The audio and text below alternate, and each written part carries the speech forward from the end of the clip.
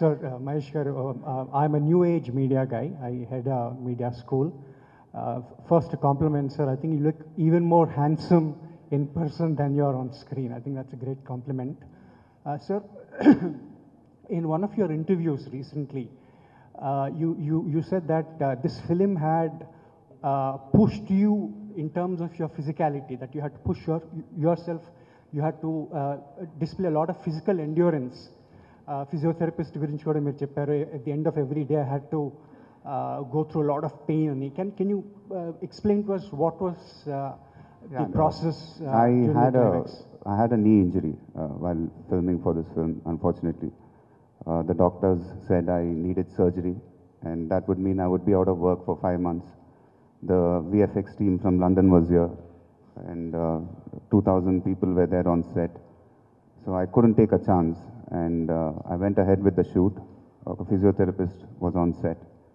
Bore, I mean, I, I was in severe pain, but still went ahead with the shoot. And uh, today I feel very satisfied when I look back. మూవీలో graphics part కూడా uh, కొంచెం key role play చేసినట్టు కనబడుతుంది అంటే whatever trailer we have seen so దాని గురించి వాటి గురించి ఎక్కువ చెప్పదలుచుకోలేదండి ఎందుకంటే మేము ఇంత హోల్డ్ చేసాం ఇంకొక ఒక four five hours cinema release అవబోతుంది సో ఆ experience we leave it to the audience అండి let them tell how the VFX are and how this film is so we don't want say anything about anything ఫాల్స్గా mislead చేసి మా ఇలా ఉంటాయి అలా ఉంటాయి. అదేం చెప్పదలుచుకోలేదు.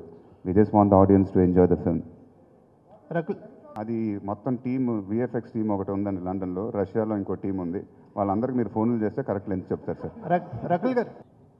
సో మురుగదాస్ గారు తుపాకీ సినిమా ఇక్కడ రిలీజ్ అయినప్పుడు చాలామంది ఈ సినిమాని మహేష్ బాబు గారు కానీ చేసి ఉండినట్లయితే అది ఇంకా పెద్ద బ్లాక్ బస్టర్ అయ్యేది అని చెప్పేసి అన్నారు. ఆ వర్డ్ ఏమైనా మీకు వచ్చిందా?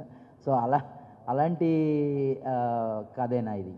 అవును ఇది ఇది స్క్రిప్ట్ ఫస్ట్ హిందీలో అక్షయ్ కుమార్తో అగ్రిమెంట్ సైన్ అయిన తర్వాత ఇది ఫస్ట్ తమిళ్ళో చేద్దామంటే ఐడియా వచ్చింది. అప్పుడు విజయ్ గారితో తమిళ్ళో చేసి ఆ, రైట్స్ పెట్టుకుని తెలుగులో ప్రొడ్యూస్ చేద్దాం ప్రొడ్యూస్ అండ్ డైరెక్ట్ చేద్దాం అంటూ మహే- మహేష్ బాబుతో చేద్దామంటే ఒక ఐడియా చేసాం అని మా విజయ్ గారు ఫస్ట్ కమిట్ అయినప్పుడు ఒక తెలుగు మార్కెట్ నాకు కావాలి. అది ఏ ఏ లెవెల్లో ఆడితే ఓకే బట్ డబ్ చేయాలి అని చెప్పారు. సో అందుకే అది డబ్బింగ్ చేసాం